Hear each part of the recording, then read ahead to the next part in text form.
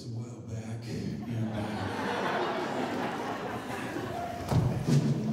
Yeah. Ooh, Taylor. That was nice. Nice rim shot. Oh man, and this is uh, this is a, a, series of things that I wrote that were that was published, which means I now make fives of dollars for the stuff that was published.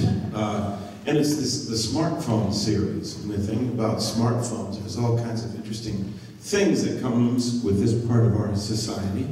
And one of them is a young man by the name of autocorrect.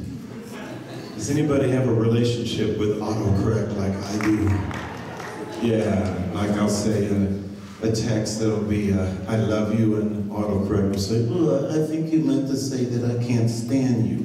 And it sends the text, wait a minute! So autocorrect will sometimes do things to your text that you don't want. So this tune is called autocorrect, and it's dedicated to that gremlin that lives in our smartphones. And man, do we have some folks, let's hear it for our clarinetist. We have a clarinet. Who's, hey, how you doing, Wow.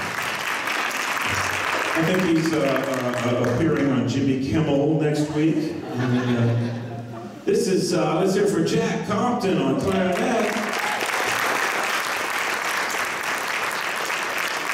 I asked uh, Jack, is a very, very pretty clarinet. Could you hold it up? It's gorgeous. I said, man, what's that made out of? And he said, it's a special kind of wood called Mopane. So now he's Jack Mopane Compton. That's his nickname now. Uh, trumpet, Charlie Butson back there on trumpet. Let's hear for Charlie.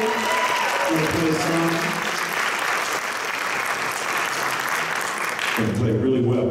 And uh, on alto saxophone, we will hear from Jake Goldsmith. Hear from Jake.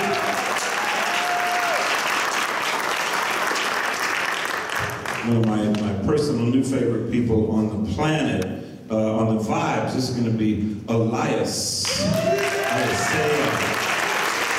Elias. And we're going to end up our, our premiere, world premieres of uh, extemporaneous uh, composition with Luca Sabatino. There he is right here. Here is autocorrect.